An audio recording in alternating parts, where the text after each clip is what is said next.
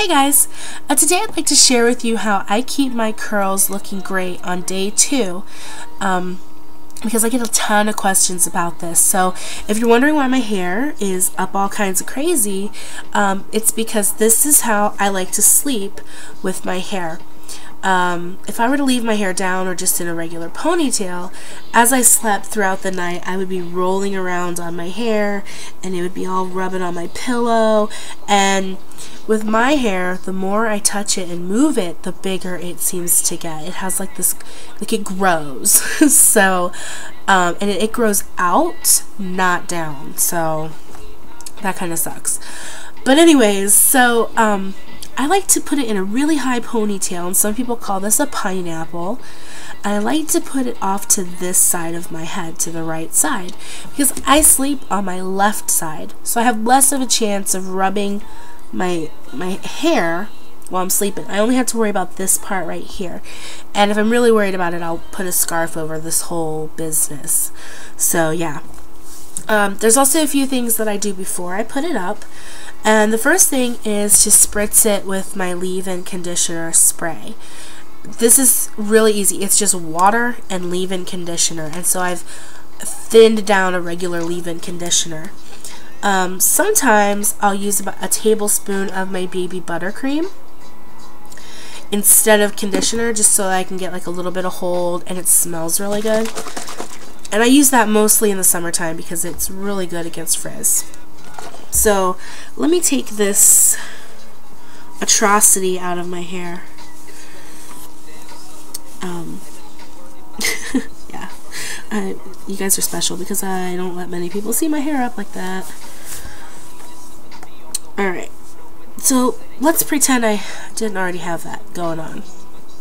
Okay, so normally I have like this side of my hair pulled back and I'll either pull this side up or whatever. So what I would do is at the end of the day, I would take like my clips out, which I usually use um, these tiny little clips.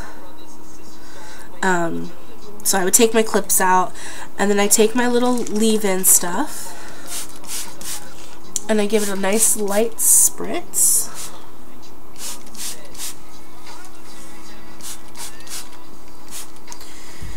and then I kind of scrunch it and squeeze it in. I don't really try to like rake my hands through my hair, but I'll put them in there and just kind of squeeze. Because um, again, the more I touch it, the bigger it's going to get, and I don't want that. okay, so now what I do is take a little bit of my Eco Styler gel I haven't done a review for this, but perhaps I should because I am loving it. So I've got my like grape-sized dollop. And I'm rubbing it between my fingers, not all over my palms. And then I'm just kind of doing this. And then I'm just going to take my fingers and kind of work it into the ends. Um, I'm concentrating on the ends with the gel because the ends are going to be more exposed than the rest of my hair while I'm sleeping. So I want them to maintain and have a little bit extra hold. So then I'll take a little bit more of my spray and I'll just spray the ends. Give it a quick scrunch. Give it a quick scrunch.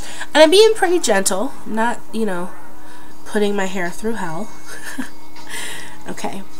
So, leave-in conditioner, scrunch in some gel, finish with leave-in conditioner on the end. So, this part of the hair, all I did was get some leave-in conditioner spray on it. The ends have extra gel. So then I take this, this is a really long piece of cotton fabric that I had left over from a quilt project, which, as if I'm not geeky and nerdy or whatever enough, um, my, uh, quilt, my American Patchwork and Quilting magazine came today. Last week's, or last week's, last month's edition was awesome. So if you guys like quilting, that's a really good magazine. Okay, so it's about 5 inch wide strip of fabric. You can use a scarf. You can cut a section out of a t-shirt and then cut it in half and make a long thing. So what you're going to do is your your ultimate goal is you're going to tie this like this, okay? And you want to pull the ends so that the the a diameter or circumference. Well, I guess technically they're both going to get smaller. So you're pulling on these until it gets smaller and smaller, pulling your hair into a ponytail. But if you if you do it right, you can get the ponytail to rest high on your head, and that's the goal. If you have to flip your head over, flip your head over. It's not that big of a deal. Sometimes I flip my head over because it's easier to make sure it stays high. But if you move your head back and forth, it seems weird. It'll work it, and then you just pull and there you go. High ponytail. It looks super, super crazy. so, then you're to take all of your hair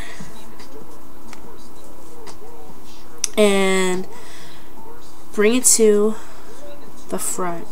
If you can. Sometimes it's kind of, doesn't want to cooperate. Okay, so bring it, your hair forward so that the ties are behind your hair okay? You're going to pick up, you're going to pick your hair up at about the middle. So however long this is, you're going to pick it up halfway.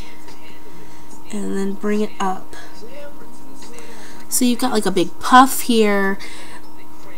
And you're going to cross the fabric in front.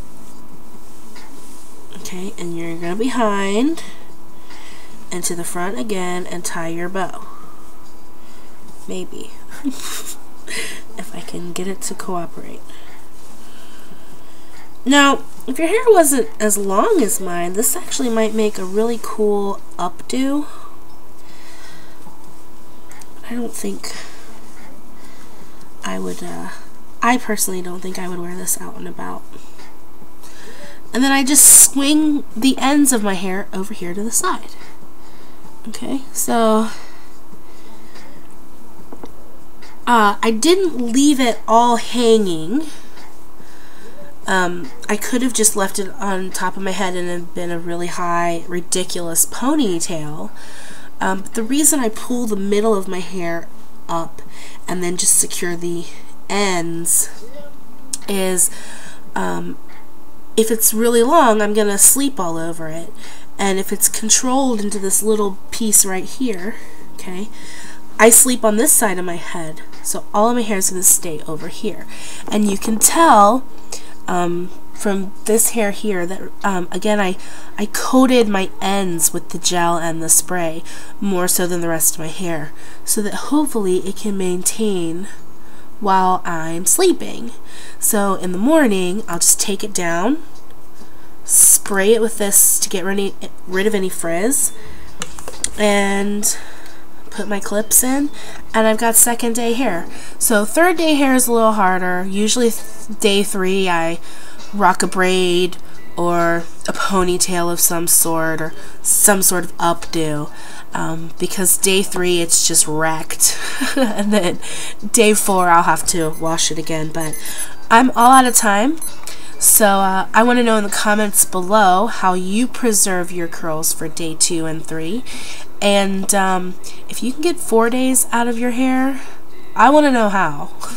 because I can't. I would love to get four days out of my hair, but I just can't. My hair doesn't look good for more than like two days. Day two, tomorrow it'll look alright, but day three, hmm, it's updo because it's not going to look good at all. so, alright guys, thank you so much for watching. Don't forget to rate, comment, subscribe, and I'll talk to you guys later. Bye.